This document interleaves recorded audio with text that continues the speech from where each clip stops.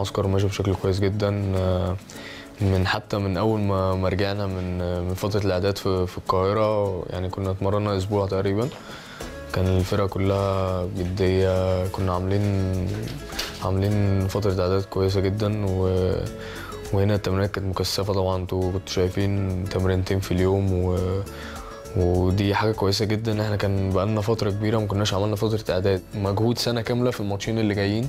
فكل واحد موجود في المعسكر زي ما قلت لك في دماغه إن أنت لازم لازم الماتشين دول نهائي يعني كاس. أنت لازم تكسب عشان ربنا يكرمك وتاخد الدوري. يعني ده هيبقى من أغلى الدوريات في, في تاريخ النادي. يعني دوري مهم جدا وكلنا بنسعى للدوري ده من من من أول ماتش ليه يعني. ف يعني زي ما بقول لك الفرقة كلها مركزة الفرقة كلها هدفها واحد يعني. ما أعتقدش إن في حد بيفكر حاجة تانية يعني.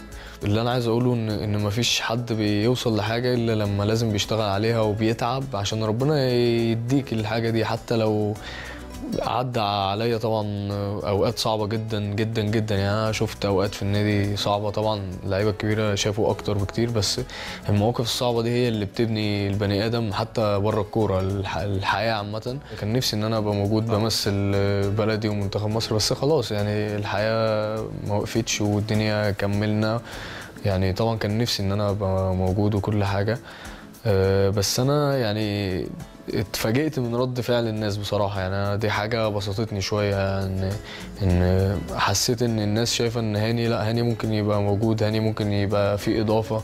فدي حاجة يعني بسطتني شوية. طبعا ان أنا يعني الناس شايفة إن في حاجة كويسة في, محمد هاني يقدر يقدمها لمنتخب مصر ومنتخب مصر ده مش حاجة قليلة. يعني طبعاً. جماهير الأهلي ليها ليها يعني ليها وجود تاني خالص. يعني بيخلوا ال- ال- الماتش يعني بيخلوا أنا نازل كلاعب أنا نازل آه عايز أموت نفسي وعايز أبسط الناس اللي جاية تتفرج علينا دي.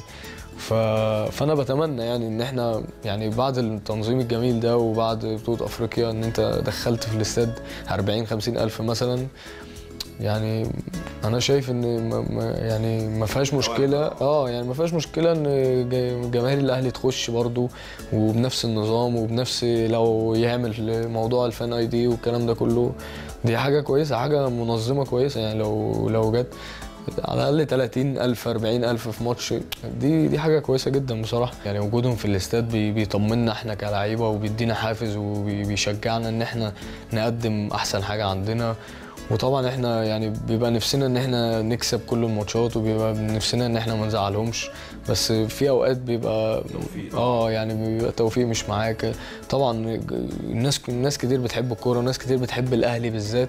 ففي ناس بتزعل منك بعشم إن أنت مثلا قصرت في حاجة أو أو كان نفسهم إن هم يكسبوا بس الجمهور بيحبك. يعني مهما كان بيجي فترة متضايقين من اللعيبة متضايقين إن إحنا خسرنا متضايقين إن إحنا يعني ال- الدنيا مش متظبطة كالعادة عشان انت دايما معودهم إن إحنا رقم واحد وإن إحنا بنكسب على طول.